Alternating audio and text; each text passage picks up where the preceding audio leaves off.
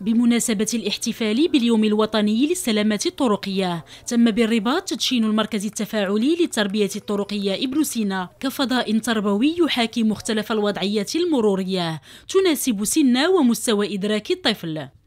مناسبة ديال اليوم العالمي للسلامة الطرقية اختارينا باش نديروا هذا النشاط آه، اللي هو واحد النشاط مهم جدا بالنسبة لنا لأنه هو تشاركي ما بين وزارة التجهيز والنقل واللوجستيك وزارة التربية الوطنية. آه، من خلال إطلاق هذا المركز ديال هذه الحلبات التفاعلية اللي غتكون منه واحد العدد على المستوى آه، الوطني.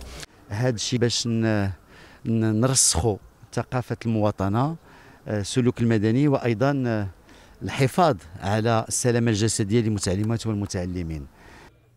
هذا الفضاء التربوي الذي يستهدف الأطفال المتراوحة أعمارهم بين سن السادسة والرابعة عشرة أنجز من طرف الوكالة الوطنية للسلامة الطرقية بشراكة مع عمالة الرباط والمديرية الإقليمية للتربية الوطنية والمديرية الإقليمية للشباب والرياضة.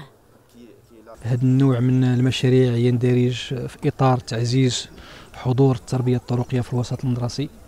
اللي كنطمحوا ليه هو من خلال هذا المركز هو ان غادي نقوموا بتقديم واحد المجموعة ديال الدروس نظرية وكذلك دروس تطبيقيه حول آه، العبور السليم للطريق بالنسبة للأطفال وكذلك نلقنهم المبادئ الأساسية لكيفية التعامل مع الفضاء الطرقي بشكل عام.